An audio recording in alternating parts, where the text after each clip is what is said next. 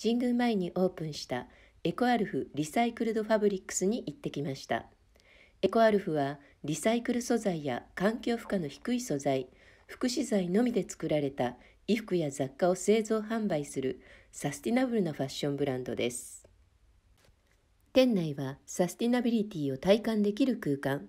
コンセプトはシェアリングエコノミーだそうです。ブランドの主力アイテムであるスニーカーもすべてリサイクル素材で作られていました。じゃあゴミは捨てるからゴミになる。いいキャッチですね。再生全部再生でできているそうです。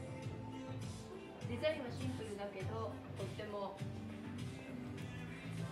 今風なデザインになっていてスタイリッシュ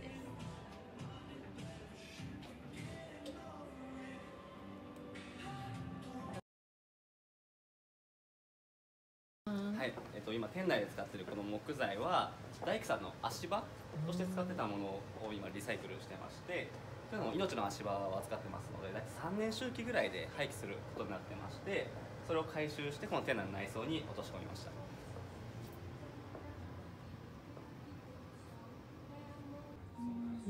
会話を構える会とかイベントで。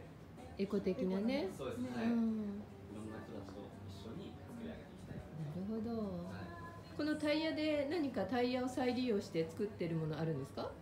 今はないんですけど、うん。今後ビーチサンダルが入っています。あビーチサンダルですね、は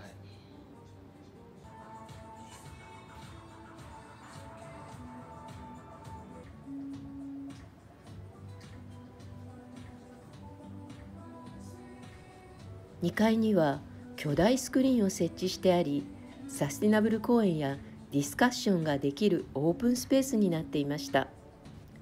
ブランドスローガンは「第二の地球はないのだから」このコンセプトにとても共感しました。また売上の10%は海洋プラスチックごみを回収製品化するプロジェクトに寄付されるそうです。店頭スタッフの方々もとても親切で丁寧にいろいろ説明してくれました。最後はみんなで地球環境防衛軍ポーズで決まりです。